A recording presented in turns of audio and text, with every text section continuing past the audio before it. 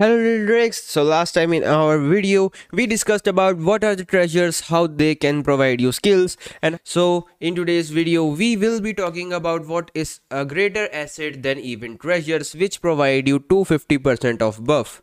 But before starting my video make sure you are gone through all my last episodes so that this video will make even more sense as I am making a tutorial or a guide from castle level 1 to castle level 30 and how different stuff works for you. As you can see my this base is looking a little bit different and this is castle level 16 but in my last video it was 23 so how did it come back? This is my farm account actually. So why do we make farm accounts? To transfer my resources to my main account.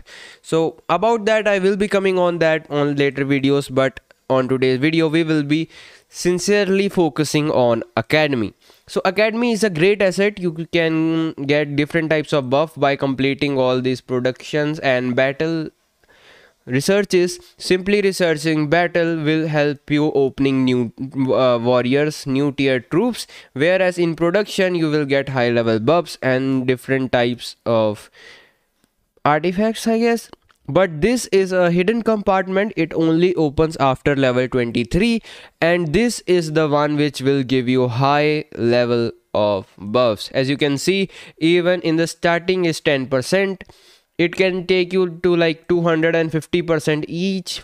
And it will help you a lot. As as you can see there are not many that many type of this thing there are resource capacity resource production each will take a huge cost on you. That's why i was focusing on having only one barrack and increasing your production while gathering with too many infantries so what you have to uh, take in mind is number one make sure that uh, in production series you will focus on all level ones all food capacity gold capacity food gathering speed should be high.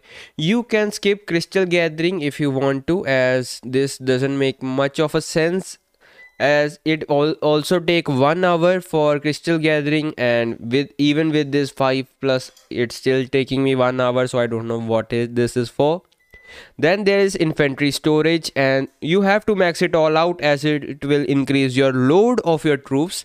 Then there is research speed. As you can see it works with the boosters. Construction c also important. Resource protect not so much important as I am in a continent where we have made a council on a Discord and we don't attack each other a lot. So I mean this is not that much useful for us.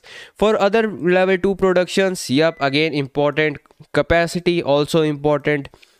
Research speed, construction, food gathering, uh, it just multiplies the buff you already have from 40 it can take you to 80% it's not that much i can understand but yep it's important. Now this i have on my main account have maxed all of these like infantry defense hp infantry attack. But if you are new player i will suggest you to uh, uh, not max max out all these stuff like attack defense hp you can max out speed uh, troop load then open t2 uh, warriors then you can just again not max all of this and then marching troop capacity you need to max this one out.